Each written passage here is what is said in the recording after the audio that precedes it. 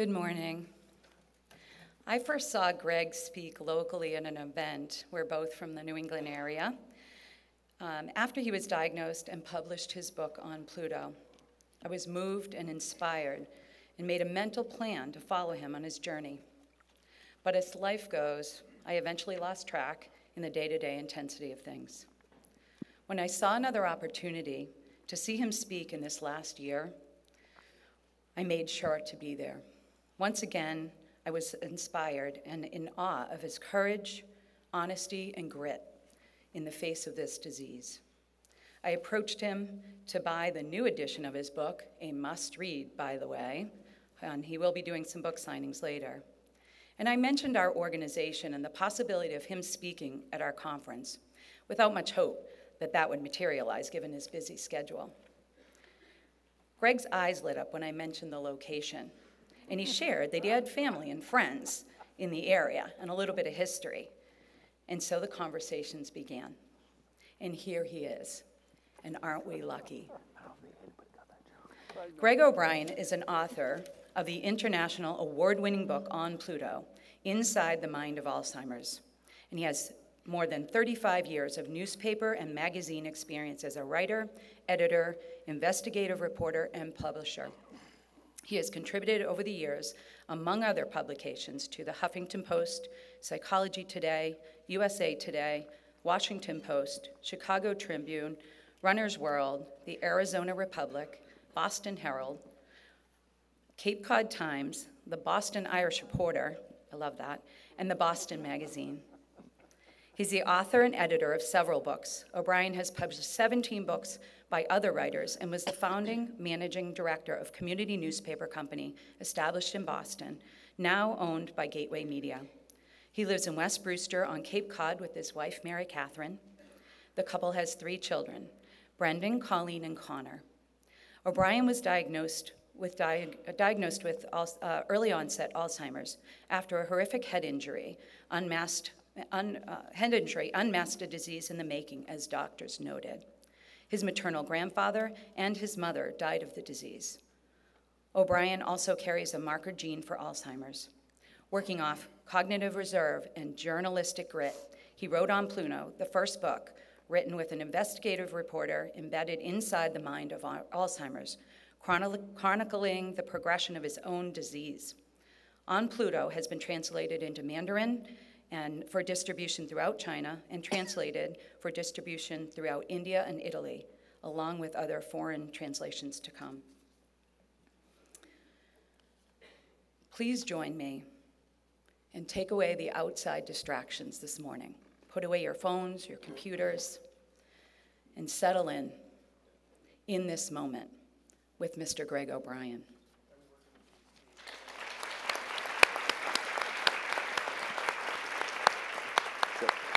Documentary filmmaker Steve James created this portrait of O'Brien for his Living with Alzheimer's, a film project to raise awareness about the disease. We'd like to share that video with you now.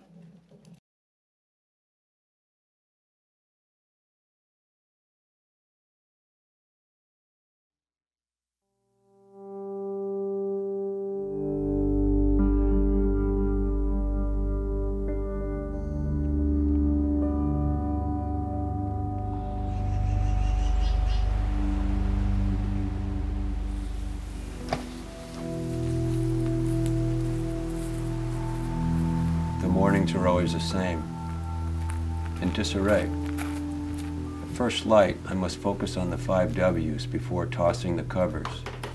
The who, where, what, when, why, and how of life. As if rebooting my faithful MacBook Pro. On doctor's advice, I've begun labeling. I have attempted often to brush my teeth with liquid soap, and on two occasions gargled briefly with rubbing alcohol. There's only so many things I can do now. But the one thing I'm going to do to the day I can't anymore is to be a reporter. And I'm writing a book. It's tentatively titled On Pluto Inside the Mind of Alzheimer's. I'm doing maybe what my mother wished she could do is to give people a blueprint of how to fight through this. It's my office, a, a, a place of memory for me. This office tells me about my life. First uh, copy of the Cape Codder, paper that I was editor and publisher. Here's my first big story, uh, basically about uh, how John Ehrlichman authorized the Ellsberg break-in. I, I see his um, possibilities of working much longer dwindling every every day. And um, the hardest thing for Daddy is he's always been very prideful of his intellect. I mean, it's always been about brains. So, of all things for him to lose. Yeah. Um, I guess my two biggest concerns is, is the future and, and the finances. And Greg loves his house. And That, um, that, that's my, my biggest worry, losing a lifetime of memories and recollections and all that stuff because we couldn't stay here. Right. What's harder for me is I feel like I've got to figure all this out. I've got to figure out the financial part. Um, I got to figure out the logistics. I got to figure out where we're going, what we're doing. As I told you know the kids, I'm still living day to day, just getting through the week, getting through the week. I think I need somebody else to guide me through the next steps. I mean, he's lived a pretty kick-ass life. Yeah. yeah. He's the man. Yes. I mean, if I get 60 years, I'm happy with that. experiences that he's had. These are um, pictures of the family. I am not recognizing people I've known all my life. I don't want to lose the memories of my life.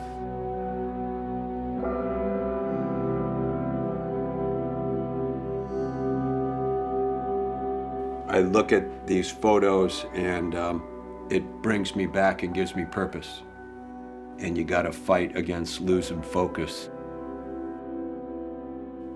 how he's choosing to deal with it, you know, that's going to help us go forward. We're strong enough and close enough to just push on.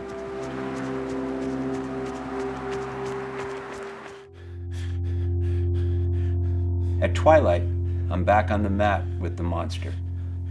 That's why I run several miles each night to increase the cerebral flow as the sun sets and more confusion takes over.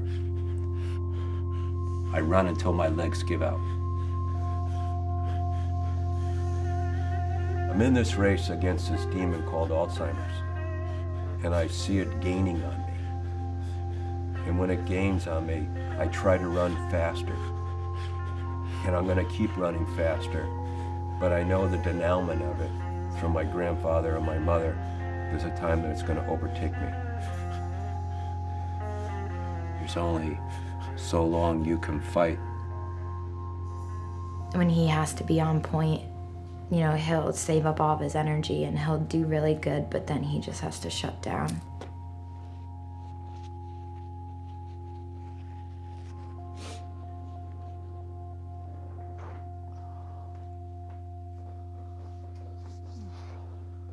You want me to pour you a glass? Oh, yeah. Um,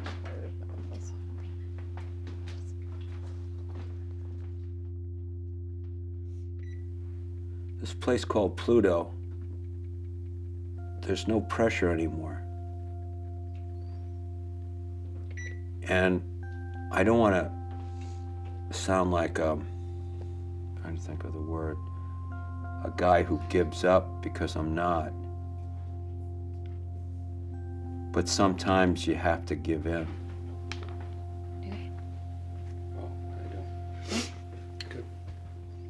Uh, it scares you a little bit because he's the one that runs his family. He, he's he's done everything for all of us, and um, it's pretty sad to see sometimes. It just sucks knowing that the guy, the guy that I knew when I was growing up, my one of my best friends, Right. Let's, um, so let's say a prayer. I lost him forever. We thank you, Lord, for um, everything that you've given us.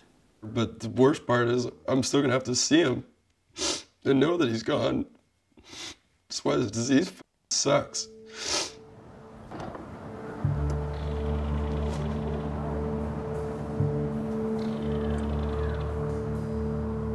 Brendan is my strength. Is the oldest boy in an Irish family. I want him to take charge. You help me with this? Yeah. I Can't figure it out.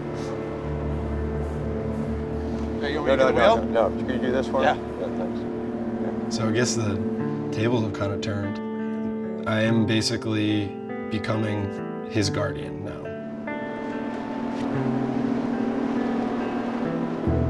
We, we connect on a totally different level when we're on the boat. We don't often get super deep conversations. We don't need to talk, get intellectual or anything like that. We just sort of just enjoy the moment. Boy, it's so peaceful out here. I've always been drawn to the water. It's again another place where I go now and it feels like me, that I haven't lost me. Well, as long as we're around, we'll be coming out. Yeah, bring me out in a box. we'll drag you out here. Yeah. You may not know where you are, but we'll have you out here. There you go. Let her up.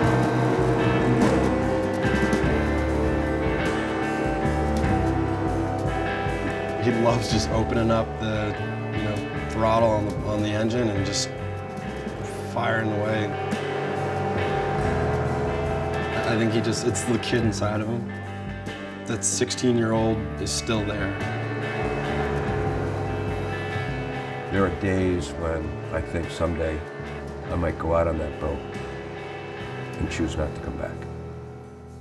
But then I can't help but look at my son and say, I have to come home.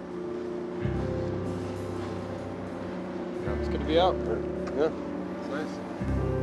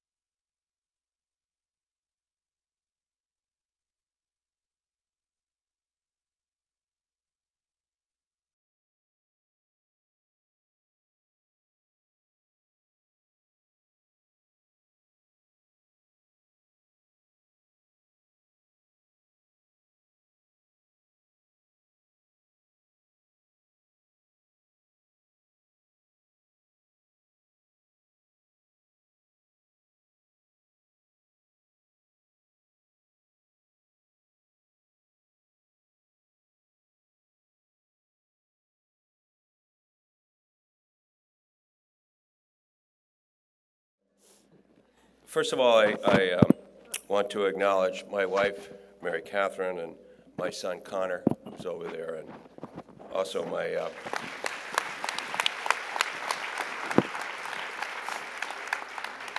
my brother-in-law Lou, and I'm going to have some fun with him because he was just here for the free coffee.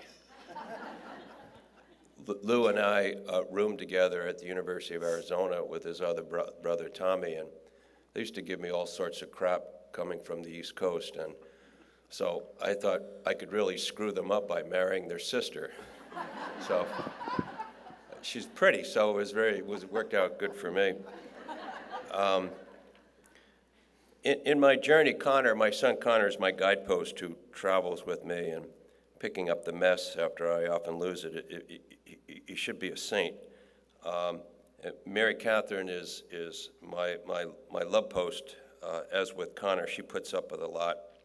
You know, often you strike out in moments of desperation at the ones you love, family and God, and I'm guilty of both. I love you, Mary Catherine, I love you, Connor.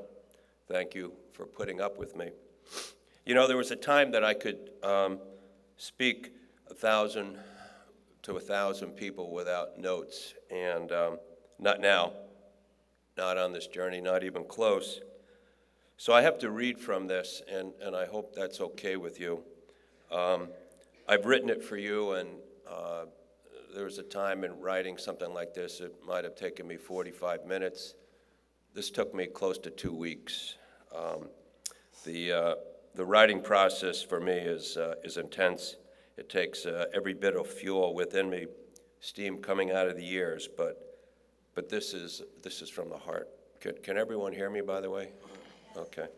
Um, you know, Alzheimer's has been around a long time, perhaps maybe even back, dating back to the Garden of Eden. What was Adam thinking? I'm going to get you to laugh a couple times, so it, it's okay.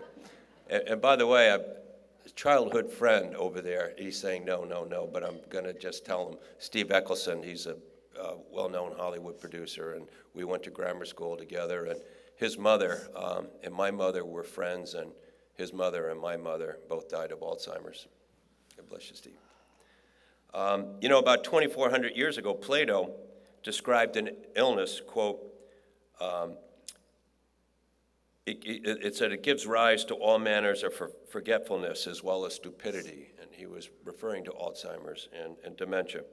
And about 2,000 years ago, the Roman poet Juvenal characterized the phenomenon, quote, worse than any loss in the body is failing of the mind, which forgets names and cannot recognize the face of an old friend who dined with him last night, nor those of the children whom he has begotten and brought up. In ancient Egypt, a scribe wrote of a close associate, quote, every night becomes more and more childish. But Scripture, perhaps unwittingly, put an exclamation point on Alzheimer's and other forms of dementia in the Gospel of John. When you were younger, you dressed yourself and walked wherever you wanted. But when you are old, you will stretch out your hands, and someone else will dress you and carry you to places you do not want to go. John 21, 18. I want to talk to you today about the holy and accurate stereotype of Alzheimer's. I want to talk to you today about the fight 24 7 to stay in the moment. I want to talk to you today about living in faith and humor while researchers and medical professions race for a cure. And I want to talk to you today about hope when at times there is no semblance of it. Thank you for the opportunity to speak today and for your generous support in finding a cure for this demon of a disease. Without your passion, leadership, and commitment, Alzheimer's research would be light years away from it is today. I couldn't stand here today without your collective efforts, so thank you.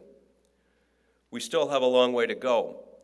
To fight an enemy, one must study the enemy and have working strategies in place. As the author of The Art of War, the great ancient Chinese general Sun Tzu once counseled, tactics without strategy is the noise before defeat.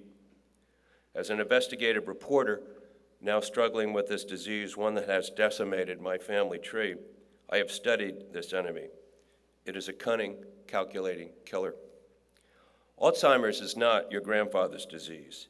It's a disease, the experts say, that can take 20 to 25 years to run its serpentine course. And the experts say the pathology in the brain can begin when one is in their 40s without noticeable symptoms.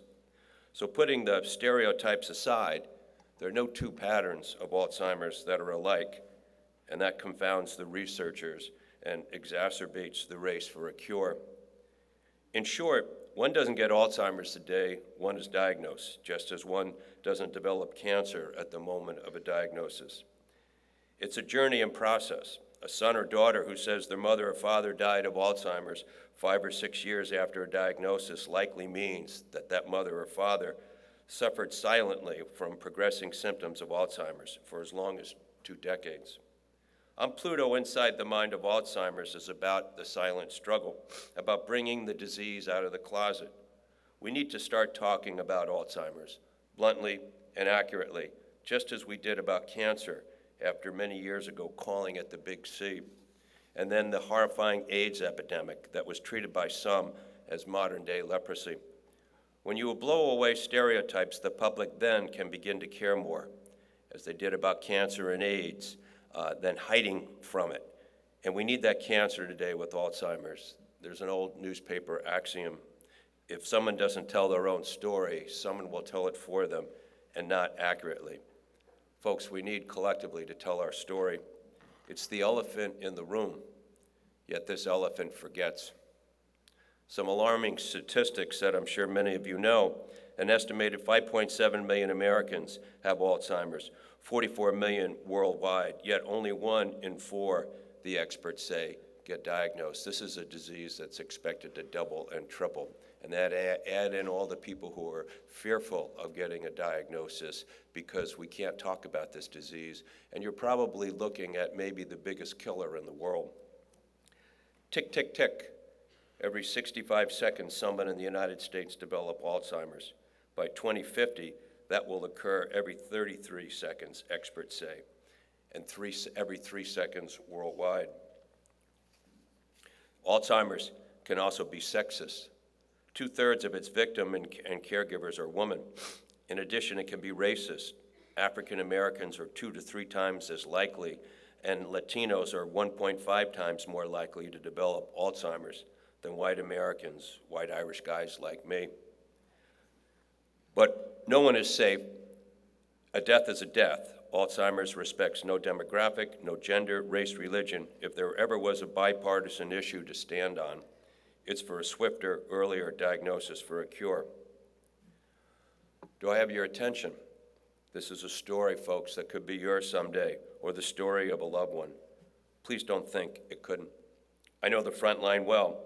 Alzheimer's stole my maternal grandfather and my mother. A few years ago, my paternal uncle died of the disease, and before my father's death, he too was diagnosed with dementia. Now Alzheimer's has come for me. I was diagnosed several years ago with early onset Alzheimer's after the horrific symptoms of short term memory loss, inability to recognize individuals and places I've known all my life, difficulty completing simple tasks, terrible judgment, incontinence, confusion with time, place, hallucinations, and withdrawals. After a battery of tests, as Kate said, and brain scans and SPECT scans confirmed the diagnosis, which doctor said was moved along by two serious head traumas that I wasn't supposed to survive.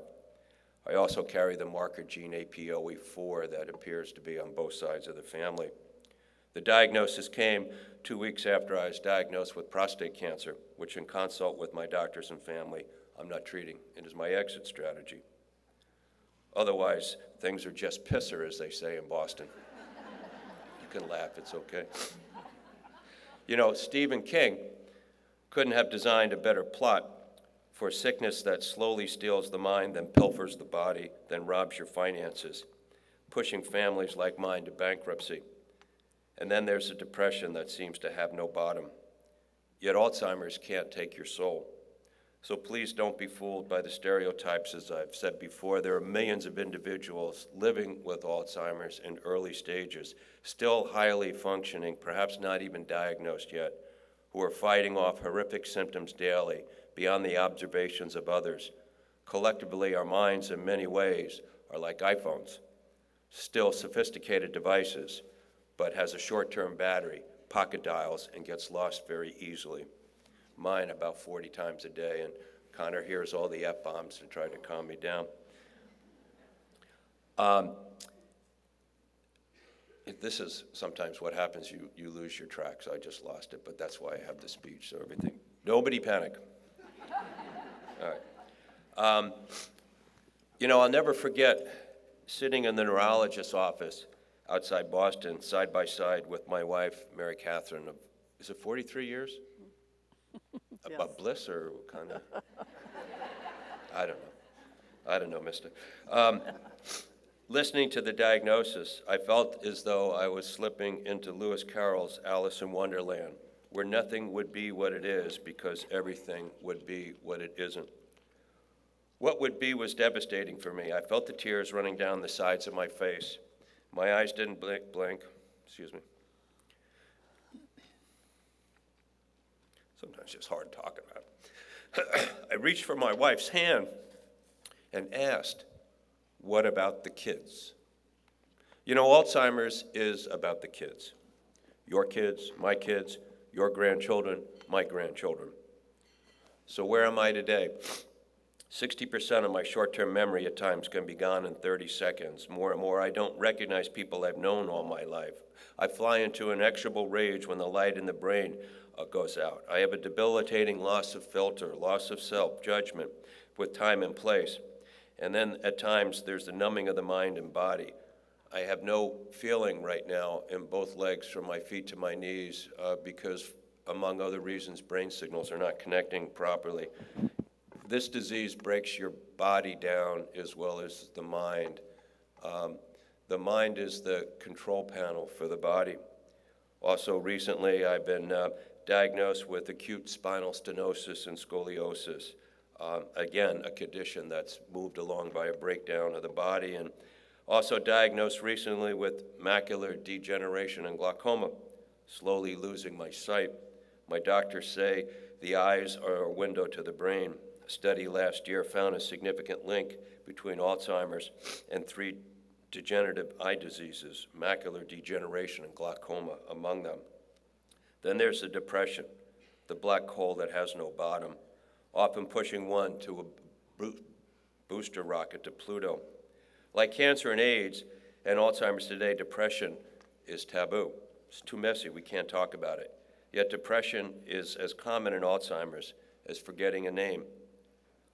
Alzheimer's is not just memory loss, it's a slow and complete breakdown. And then there are the spiders. There's sometimes, at all times a day, I see platoons of them floating along the wall, and they float down in, in, in right angles right at me. And my mother told me a long time ago who experienced the hallucinations, she said, they're not real, just brush them away. She taught me, uh, told me uh, years ago, it's apocryphal story about uh, Martin Luther, not the great Martin Luther King, but Martin Luther, uh, who was the, the evangelist. And he was taunted, as, as the uh, apocryphal story goes, by Satan.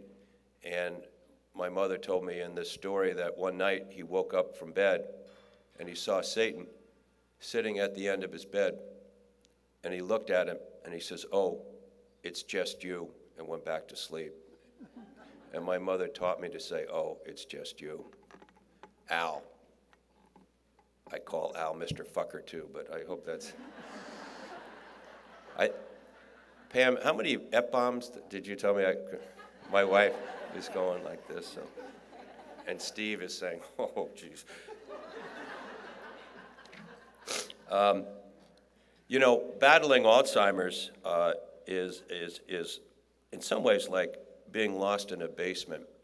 So I know I'm in Arizona, but I'm sure some of you people have lived in a home with a basement. So let me ask, how many people have ever lived in a home with a basement? Raise your hand.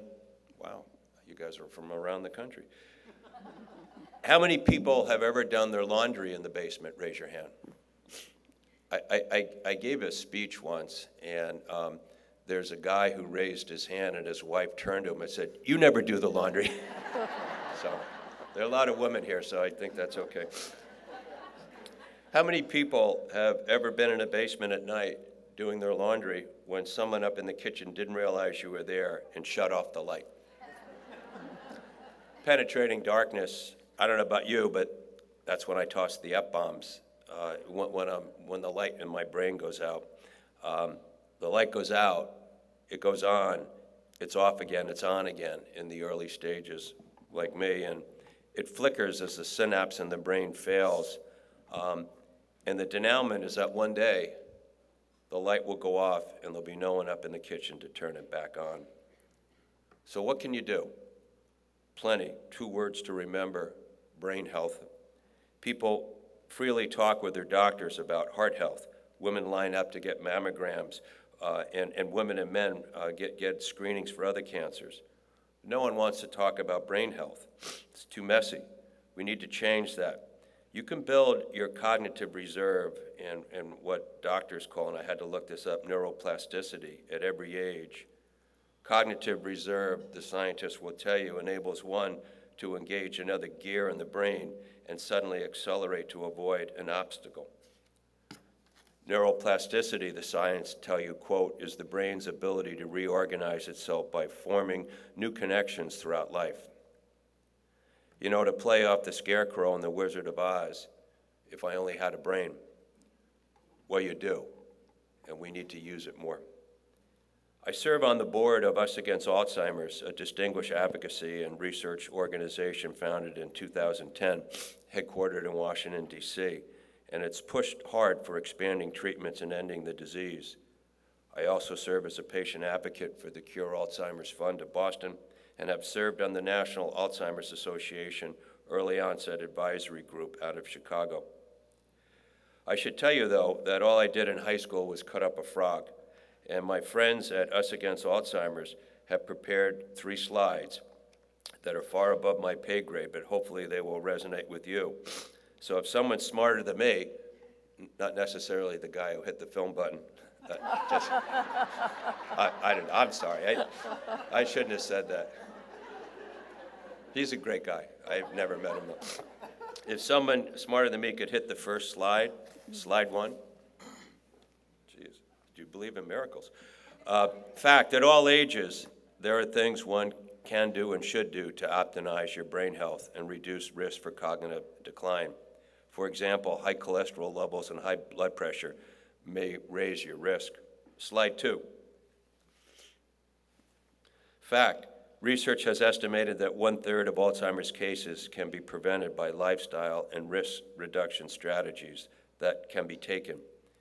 You should exercise, diet, sleep, reduce stress, brain fitness, and community connections. Slide three, fact. There are more than 263 studies on dementia, causation, and prevention. We are learning more and more every day about what can do to slow the train down, and possibly one day, with greater resources and, and with the grace of God, prevent it. But that's not today. That's the prayer for the future. My mother, the hero of my life, taught me by her courageous example uh, to fight Alzheimer's. And when the brain fall, fails, to write and speak from the heart, which I believe is the place of the soul that survives forever. So my mom taught me to speak and write from the heart as she could, and she could at her at the similar stage I am, she could have stood here and talked to you. She was a, a beautiful, very smart, articulate woman. Has anyone ever asked you, tell me what's on your heart? Speak from your heart. A poet writes from the heart, not the brain. And in Alzheimer's, we all strive as we can to speak from the heart. You know, years ago, I thought I was Clark Kent, Superman, an award winning journalist who feared nothing. But today I feel more like a baffled Jimmy Olsen, and on days of muddle, more like Mr. Magoo, the wispy cartoon character who couldn't see straight, exacerbated by stubbornness to acknowledge a problem. Or like Mr. Potato Head with the wacky pushpins and all. Or like a codfish landed on the dock. A fish rots from the head down. Reinforcing the critical need for early diagnosis and life strategies, doctors tell me I'm working off that cognitive reserve. They tell me um, to slow down, conserve the tank, as they told my mother. It's lights out, they warn, when the tank goes dry. In layman's terms, the right side of my brain, the creative sweet spot, is intact for the most part, although the writing and communication process, as I told you, takes incredibly longer. The left side of the brain, reserved for executive functions, judgment, balance, continence, short term memory, financial analysis, recognition of family and friends, is at times in a free fall. Doctors advise that I will likely communicate and write with declining articulation until the lights go dim, but other functions will continue to ebb. So daily exercise and writing are my secret to reboot and reduce confusion. I try to stay locked in, as a missile is on target, but locked in, likewise, is a medical term in which an individual who cannot speak because of paralysis communicates through the blink of an eye. Some days I find myself between definitions, using every available memory device and strategy, cerebral and handheld, to communicate. Daily medications, the legal limits, serve to slow down the progression of the disease and help to control the rage on days when I hurl a phone across the room a perfect strike to the sink because in the moment I don't remember how to dial, or when I smash the lawn sprinkler against an oak tree in the backyard because I don't recall how it works, or when I push open the flaming hot glass door to the family room wood stove barehanded to stroke the fire, just because I thought it was a good idea until the skin melts in a second degree burn. Or simply, when I cry privately the tears of a little boy because I fear that I'm alone, nobody cares, and the innings are starting to fade. Alzheimer's indeed is a sickness that runs in circles and eventually meanders for a kill. It's analogous to the prototypical arcade game Pac Man, in which a pie faced yellow icon navigates a maze of challenges, eating pack dots to get to the next level. While the iconic video game was designed to have no ending, there are no power, excuse me, there were no power pellets in Alzheimer's to consume the enemies of ghosts, goblins, and monsters as my Pac Man in slow motion consumes brain cells one by one. Game over. Not always, if one is willing to fight with gut instincts and with the help of individuals like you. You know, we can learn legions from the words of others. Iconic poet Robert Frost once observed In three words, I can sum up everything I've learned about life. Quote, it goes on. Woody Allen, in a wry exchange in the movie Annie Hall, put an exclamation point on several instincts in an anecdote about a guy who goes to a psychiatrist complaining about his brother who thinks he's a chicken. When the doctor suggests he turns his brother in, the man replies, I would, but I need the eggs. You, you, you're going to make me feel better if you laugh. My family needs the eggs. You know, the Irish like to say, never get mad, get even. And so I'm getting even with Alzheimer's. Not for me, the train has left, but for my children, for you, for your children, and for a generation of baby boomers and their families and loved ones who face this demon prowling like Abaddon. The only way to face this demon is head on through faith, hope, and humor, as it robs everything that you have, and, and, and, and then it takes your body functions, kind of the yin and yang of Alzheimer's. More and more, I'm withdrawing from family and close friends and social situations. Uh, in my Irish way, in my earlier years, I was the guy who lit up the room, the senator from Cape Cod, my friends called me. You know, I'm okay reading this prepared speech, though it took two weeks to write, but if I had to meet in a small group and exchange a conversation, it will be difficult for me, highly challenging as the brain cannot process noise in this disease or where it's coming from a high state of confusion as the quietest sounds uh, accelerate in the mind. It's akin to the movie Psycho, the screeching noise before someone gets stabbed. You know, er, er. that wasn't so good. Sorry. What's wrong with this picture? Well, the reverse side is loss of filter, which to a great extent I'm enjoying more and more. I've, I've, bec- I've become more da- uh, I've become I've become more Larry David like.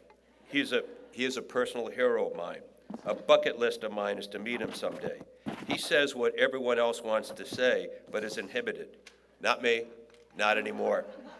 God bless you, Larry David. Humor goes a long way in fighting the disease. You have to laugh at an enemy or the enemy owns you and greatly intimidates. In Alzheimer's and other forms of dementia, one becomes in, uh, inhibited, by inhibited by malfunctions in the brain. The experts will tell you, quote, the frontal cortex is the region of the brain that acts like a filter.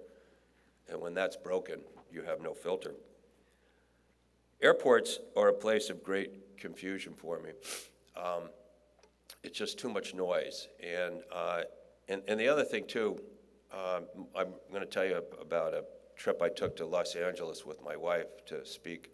And um, I was very upset going into the airport, so much noise and, and just coming from in confusion, coming from all different directions. And, and then, you know, I'm an Irish guy, so it's not politically correct to say this, but I, I always wanted to be the guy, you know, the guy who fixes things, the guy.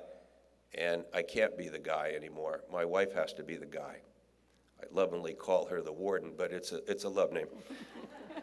so um, you go to the airport today, and they took a, for airports, a word out of the dictionary. It's called customer service. It, it does not exist anymore. And they have these things that look like R2D2, and, and you got to poke shit at it. And I'm sorry, shouldn't have said that. Um, and it's very confusing. So uh, my wife, who's the guy now, was was poking at R2D2, and the only thing I could think to say, because I had to say something to feel I was in control, is I said to her, "In my, you're supposed to have your quiet voice in the airport, and I have a loud voice now." So I said to her, "It's not working." she said, "What?" I said, "It's not working." She turned at me, and you know those looks with a spouse or, or, or you know, a, a, close friend where, where, they could burn your retinas. And um, she said, Yes, it is. And I said, No, it isn't. It's not working. Now, I was starting to draw a crowd. All the passengers are putting their, um, um, these things. All right, whoever got it. Okay, you don't have Alzheimer's. Um, and they were listening. And all of a sudden, I drew the attention of um, the TSA. And um, this woman, I'm sure she's very nice, but she was big. I think she used to play linebacker for the Giants. And um, she came over and said, What's wrong, sir? And I looked at her and I said, It's not working. And she said, Yes, it is. And I said, No, it isn't. So then she pushed me out of the way and um, went um, to R2D2 and gently pushed my wife aside, starts poking, and all of a sudden R2D2 starts spitting all this stuff out. And in Alzheimer's, which I'll tell you in another anecdote in a little bit, your DEF-CON increases when you're confused. So I'm getting up there now. And so she, she hands me this thing, and it's this long strip thing. And she said, Here. And I said, What the hell am I supposed to do with that? And then she talked to me like the two year old that I was, and she said, You put them on your back. And then I said, without thinking, in my loud voice, Well, am I supposed to fly the fucking plane too? You're not supposed to say that. You're not supposed to say that. So um, uh, now the, the, the, the everyone's descending on me. My wife had to say, look, my husband's nuts. And, and, and she told him about it. and He said, okay, let's, um, let's get him out of here. Um, another, what I'm trying to do now is to give you a couple examples. If I can't get you to laugh, then you're going to be intimidated by this enemy. And uh, not long ago, I was in Manhattan for a speech and an inter interview with my son Connor, Connor, and we're in a cab heading down Broadway to Lower Manhattan Hotel. The route was confusing to me, too many bright lights, too much noise, too many people. My mind went into overdrive, the telltale paranoia of Alzheimer's. I envisioned that we were being kidnapped, only to be drowned in the Hudson River with cinder blocks for ballast. The cab driver didn't speak English. That upset me, and looking back, I apologize for that. I was wrong, and I'm not proud of my behavior. And so I yelled at the cab driver several times, and he wasn't listening. He just, I just yelled louder and louder. And Connor tried to unsuccessfully calm me, but no dice. At the next red light, Oh, okay. that's that's the cab driver. That, that that's the cab that's the cab driver. But anyway, so I got out of the cab. I, I got out of the cab and I started walking down the street. And and Connor took a cab to, to the hotel. And um, I was so angry, I was hoping that um, I'd get mugged so I could I could get into a fight with someone. But I, I, came, I came across uh, uh, two police officers who, who kind of led me along the way, and, and, and finally, finally I got there. You know, another case in point, which I wrote about recently in Psychology Today about loss of judgment, um, was, a, a, and, and I'll read an excerpt from it, that my wife, Mary Catherine, um, was, is a dedicated special needs uh, assistant at Nauset Regional School District, and she left for a well-deserved uh, spring break to come to Phoenix last, uh, last spring. And Connor was left behind to guide the family tiller. But on Cape Cod, there are dangerous currents, riptides, and sharks, not only on the beach, but inside the mind of Alzheimer's. Um, during that time, I was kind of relegated to the couch. I wasn't feeling well. Um, but the Sharks were thrashing as Mary Catherine's Boeing 737 lifted off the tarmac at Boston Airport and banked a left for Phoenix. It was the start of a week that was uneventful. Other than continued breakdown of the body, the brain is also, as I said, the control panel.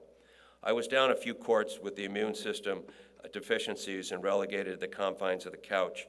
How much news can someone watch these days without poking your eyes out?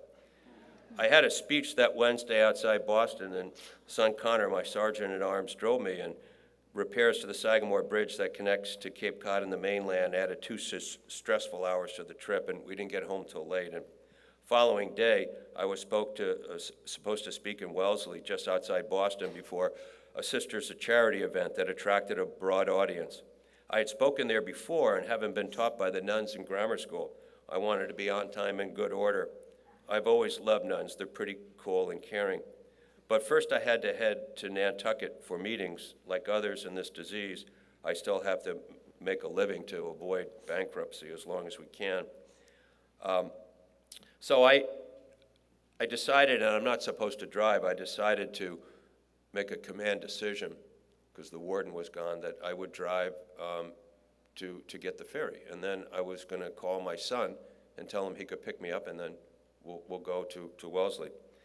So I, when Connor heard I took the car, he was angry as he should have been. And, and I said, look, we're just going to, you can pick me up when the ferry comes back and we're going to go. And along the way, I found that the uh, backup at the bridge was now three hours and we would never, we'd never make the speech. So in, in, in, a, in my own bad judgment, uh, and in the moment, I decided to drive to Wellesley myself.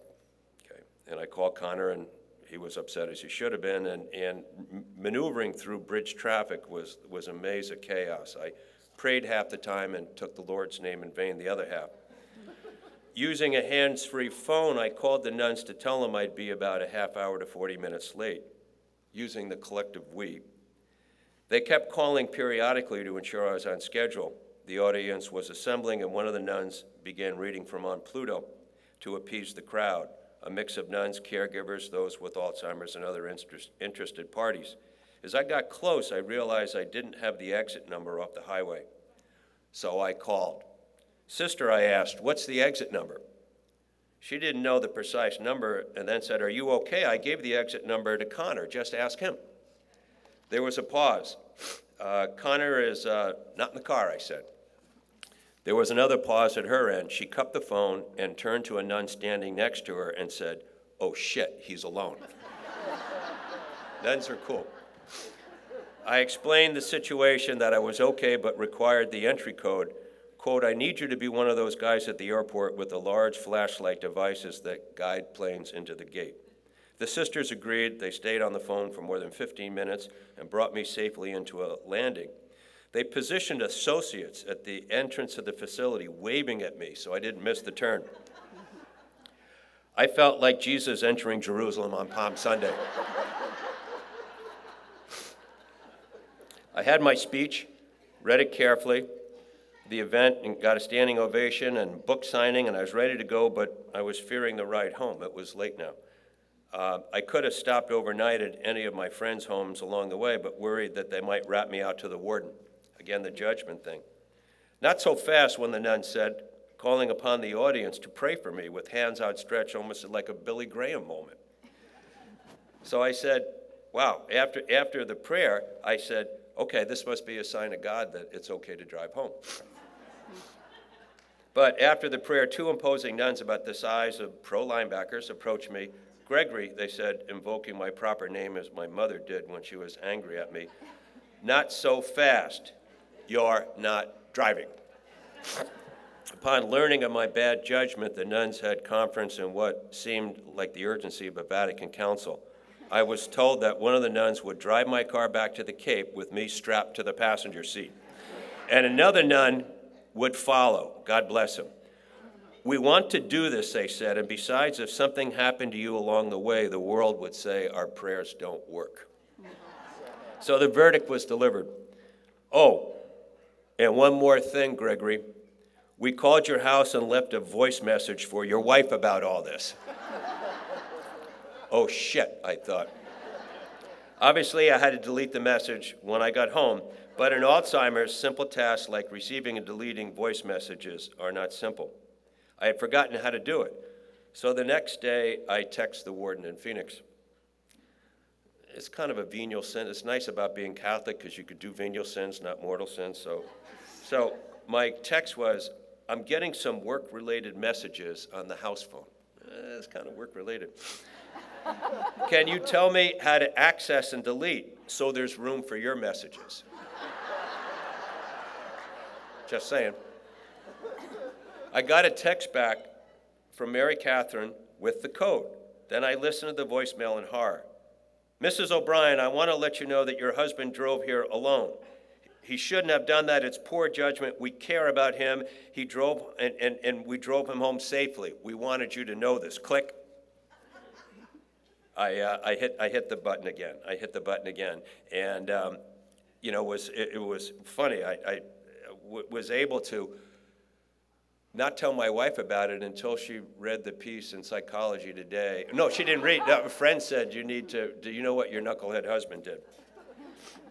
So anyway, um, what I'm, again, what I'm trying to do is to show you a couple things how you fight this disease in faith, hope, and humor. Because right now there is no cure, and that's why we need people like you. Um, you know, I want to close with a brief excerpt from an essay my wife Mary Catherine wrote in On Pluto uh, about the pluck of caregivers. Writes Mary Catherine in a chapter named called Miles from Nowhere, a reference to Cat Stevens, Satie, and the Tillerman. Quote, Years ago, life got worse as Greg's mother in Eastham drifted deeper into Alzheimer's and his father began the journey, and we became family caregivers. I saw firsthand the terrifying, disconnected, debilitating, hostile nature of this disease. Then, to my horror, I began to see it in my husband. Invasion of the body snatchers, as Greg calls Alzheimer's. Slow at first, then a quickening pace. The explosions, the rage, the drifting, the ceaseless short term memory loss, absence of filter and judgment, absence of balance at time, repeating himself, asking the same damn questions. I was out of my mind, in denial, thinking that Greg was just becoming more of the perfect asshole. Greg has always sought perfection. So Warden kind of got back at me. Quote, in time, the evidence was overwhelming, particularly after Greg's parents had died, and he was no longer consumed with caring for him. He was privately consumed with fighting his own demons. Mary Catherine writes British novelist E.M. Forster once wrote, You must be willing to let go of the life we have, that we have planned, so as to live the life waiting for us. Now I must, she said. I read a lot of Christian author C.S. Lewis, who also speaks to my heart. Quote, It's not the load you carry that breaks you, Lewis writes. It's the way you carry the load. Writes Mary Catherine, first I needed to learn how to carry the load. Then I needed to learn that I was being carried. As I often lay awake at night when sleep is robbed, I reflect back on the serene, innocent days, and then I get up to fight another day with Greg. You know, in the last year, I've lost six close friends to the demon Alzheimer's. Now multiply that number around the world. Lots of spouses without mates, children without parents, grandchildren with fewer one loved ones to hold. Two of my friends who died, Steve Johansson and Ken Sullivan. My good friend Steve Johansson wrote articulately from the heart after his diagnosis and ongoing progressions, again dispelling the stereotype. Quote, I don't think I'll be at this desk much longer, trying now to build a positive vision for the future. I've always been able to put pieces together to build beautiful, safe places for my family and friends. I suspect my tools will now lay unused and layered with ever deepening layers of dust. But on the positive note, I know my loved ones will pull me up and dust me off and take me out for fresh air, nature's beauty, and the hugs that we all need sometime in the future. Ken Sullivan used to have beers with a good friend, Paul Boyce, after Ken's diagnosis and his ongoing progressions. They talked about Alzheimer's, how unfair it was, and like the final scene in the movie Charlie, adapted from Flowers from Algernon, they talked about the day when Ken would not recognize Paul. You won't see it coming, Paul told him, but I will. I know, replied Ken. I'll just be along for the ride. All of us in the room are along for the ride. We can learn from Irish playwright George Bernard Shaw, who prophetically said, quote, life is no brief candle. It's sort of a splendid torch which I got to hold for the moment, and I want to make it burn as brightly as possible before handing it to future generations. So burn your candles brightly. Perhaps Ernest Hemingway said, said it best when he observed, The world breaks everyone, and afterwards, some are strong in the broken places. Be strong in the broken places. It's all about the kids. God bless you.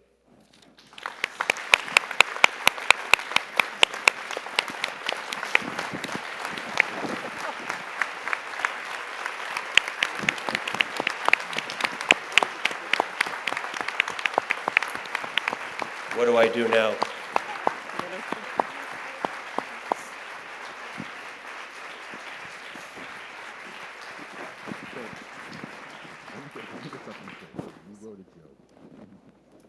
I think we have a little time, and I know that um, Connor and Mary Catherine are mic'd, and Greg is here for some questions. Uh, Are there microphones also out in the, okay, I see lots of hands, but it's bright up here. Yeah. Is it up there? Someone, Pam? Okay. I'm These on, I guess. Thank you so much for um, giving words to the experience. I always wanted my mother to tell me what was going on, and she couldn't. So I feel like you've said some things that um, just giving voice to what's going on, and I really appreciate that. Thank you so much. Well, thank, I mean, what, what we need to do is to give voice to this. And um, I, I was blessed, so to speak, because of those head injuries. I got a diagnosis 10 years before I probably would have. And like others, I would have experienced these symptoms and been afraid to talk about it. But I wasn't able to, as an investigative reporter, you have to multitask. I wasn't able to do that, so I sought help. So, um, as a journalist, shame on me if I don't pass, pass along what it's like from inside the mind of Alzheimer's. Uh, I'm no hero. I'm just trying to. I, I, I want a I want a God who's like uh, Coach Bill Belichick of the Patriots, and I know a lot of you guys don't like the Patriots, but it's all right. Just, and I was a consultant for the Patriots too, but just do your job. So, as a journalist, I'm just trying to do my job. Thank, you. Thank you. Um, I wanted to ask a question this a about. press conference? You got a follow-up question? Um, As serving as a geriatric care manager, um, I would say the majority of my clients have some form of dementia, often Alzheimer's. And what I keep running into is the sense of shame and how the family closes down, and it's very hard to even um, make headway like what you're talking about with them. There's a sense of shame and just closing down and not knowing what to do. So You've probably answered the question already, but I think I keep running up against that wall of not knowing how to allow the family to see that it's, there is an opening.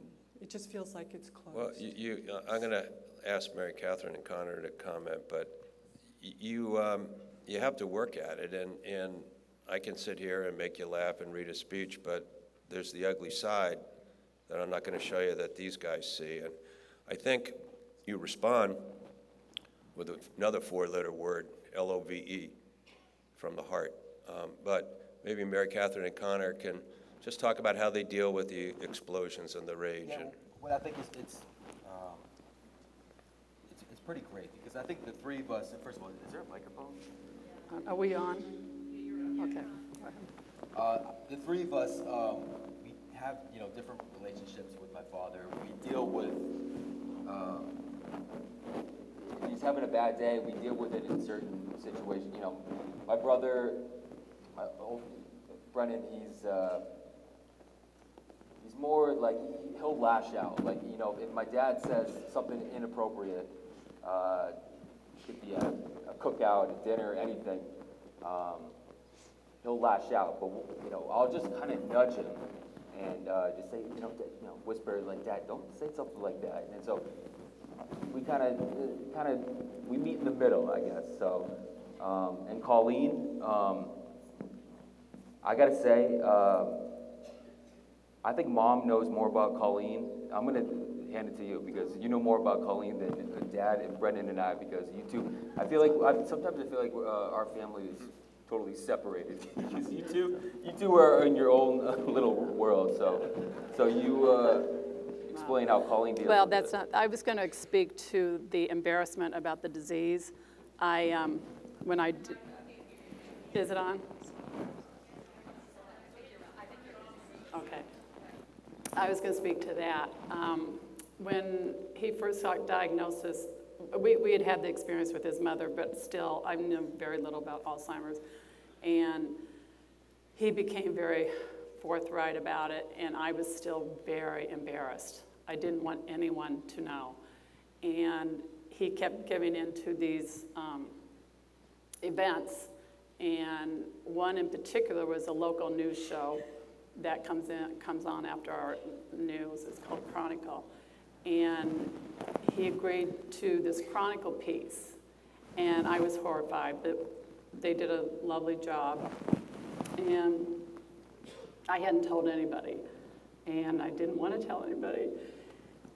Anyway, um, I always get so emotional these things, but. Um, It was fantastic, by the way. it was, it was, anyway, so no one at school knew, knew about it. Um, very few of my friends, but I thought, oh gosh, not, you know, nobody's watching Chronicle.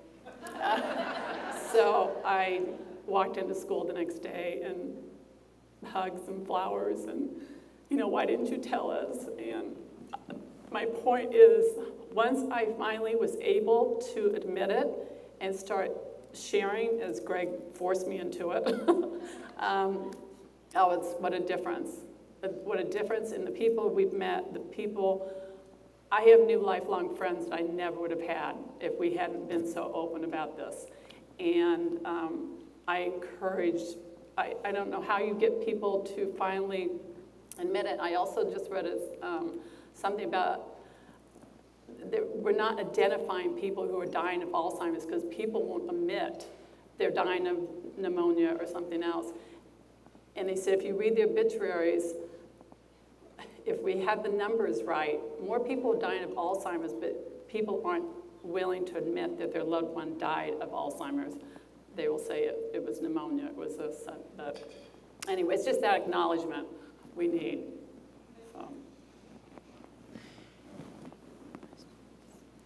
Warden's pretty smart, huh?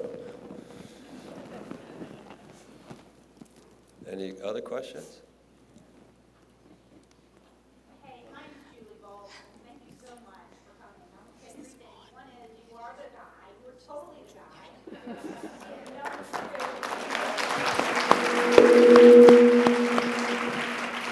That? and, um, the family, I have no filter either. So I can experience how you have, I have. Clip. And, um, my third question is, um, really, you're exactly, um, what can we do to help the family? Like, if you had a magic wand to say, how people can help, because nobody knows how to, but what do you really need versus what you get? I, I'm going to let them answer, but um, I'd start out just to the world, don't treat us like lepers. We're not stupid, we just have a disease, you know, and, and, um, you know, people think that if, if you have the disease, you know, you- you're, you're gonna, you're gonna look like the hunchback of Notre Dame, and, um, and, and you're not gonna be able to speak. And maybe when you're 80 that happens, but when you're younger it doesn't. And so many people do what I call the drive-by. Oh, you look so good. And it really pisses me off. And what I've begun to say is, let me just tell you right now, I'm going to look better in a coffin than you look today. so that kind of shuts them up. But you guys. Um, so, is, so, yeah, I'm sorry. Uh, you said if I we had a magic wand. Um, well, first of all, I, I hope you know I never see my dad in a coffin because that'd be awful. But um, a magic wand, I mean, that that's a loaded question because I could I could come up with just like a, a limitless. You go first.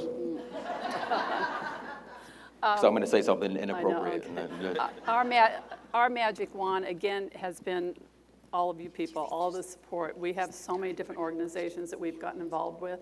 And that's, so many times people get the diagnosis, that they don't know where to go. And they have to research. We have a local group that is phenomenal, but we also have the national groups.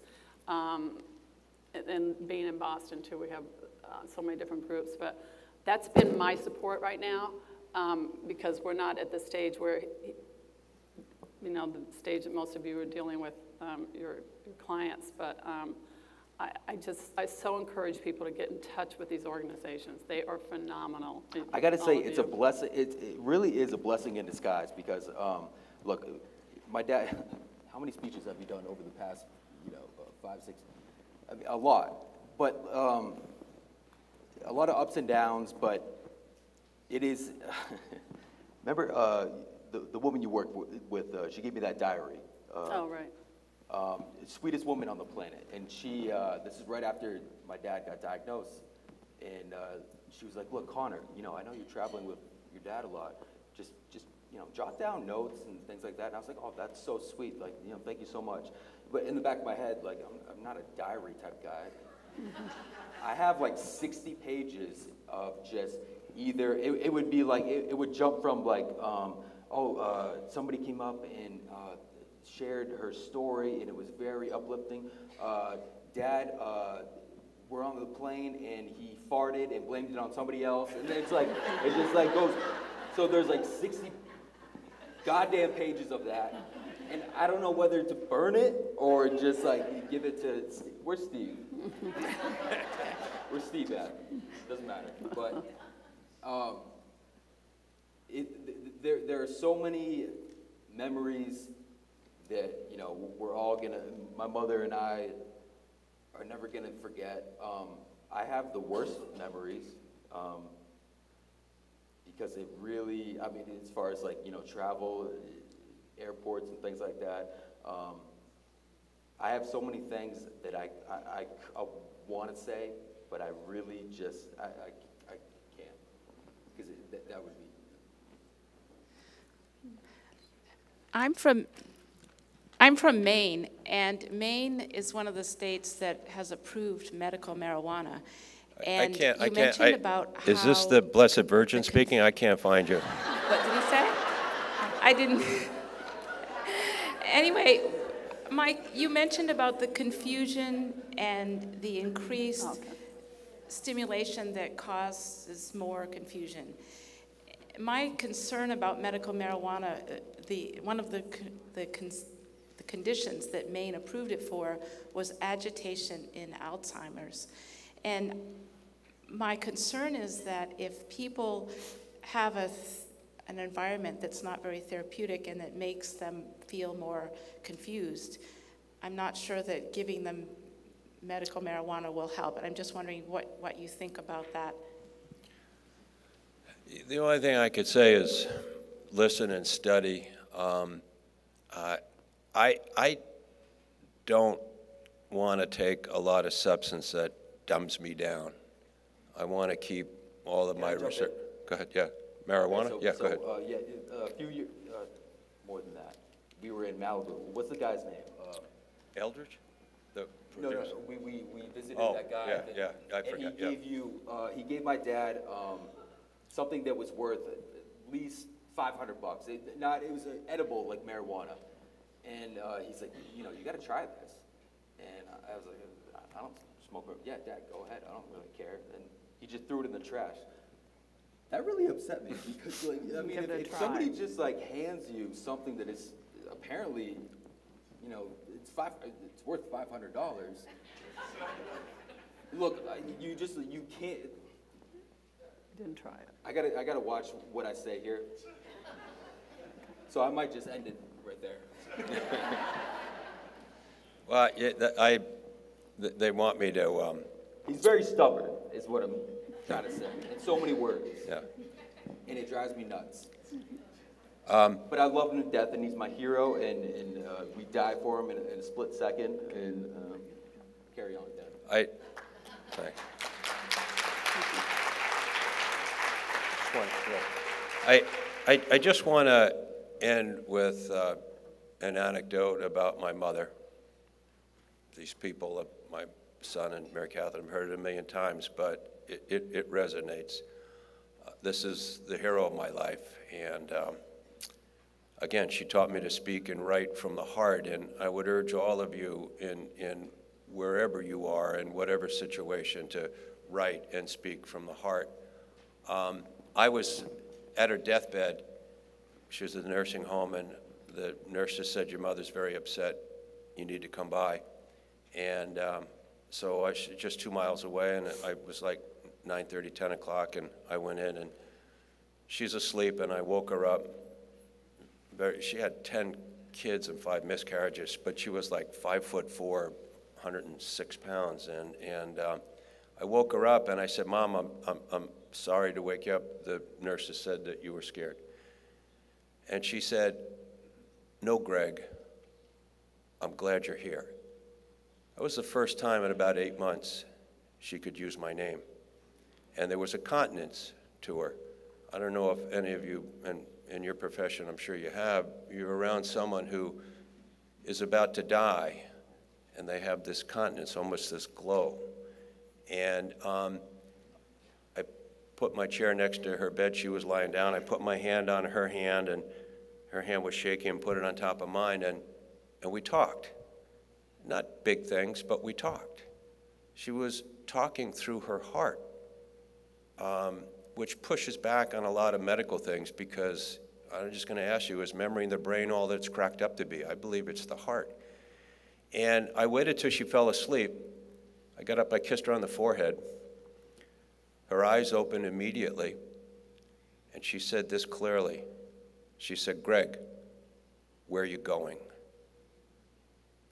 And I realized the moment was at hand. I sat down I said, Mom, I'm not going anywhere. We're riding this one out together. I held her hand until she fell asleep. I kissed her on the forehead. She never woke up again.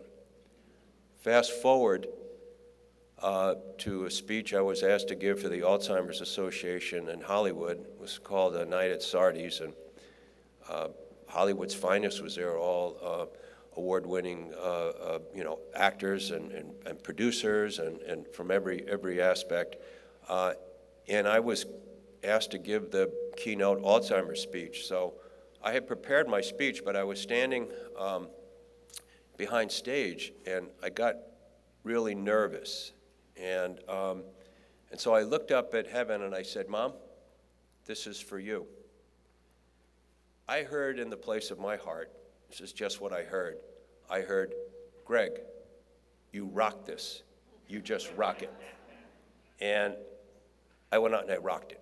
And, I, and I, as I was giving my speech, reading from it, which was so cool, there was, there was a woman standing behind me. She was so encouraging, so loving. I just felt comfortable in that space, and I wanted to turn around and see who it was.